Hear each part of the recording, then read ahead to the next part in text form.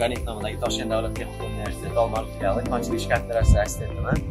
Hozir birinchi bosqich konchilik ishi yo'nalishi talabalari bilan Kalmar boshqarmasiga ekskursiya tashkil qildik. Bu ekskursiyadan asosiy ko'zlangan maqsad birinchi bosqich konchilik ishi talabalariga oliy o'quv yurtida olayotgan nazariy bilimlarini ushbu konchilik ishlab chiqarish korxonasida amaliy bog'lashlari, ya'ni dual sistemada o'qishlari oliy o'quv yurtida olayotgan nazariy bilimlarini ishlab chiqarish korxonasida ko'rib amaliy mustahkamlab borishlarini asosiy maqsad qilganmiz.